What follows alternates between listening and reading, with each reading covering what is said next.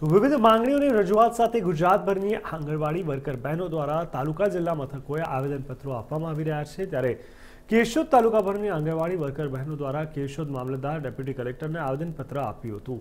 અનેક માંગણીઓ સાથે કેશોદ શહેર તાલુકાભરની આંગણવાડી હેલ્પર બહેનોએ રજૂઆત કરી હતી.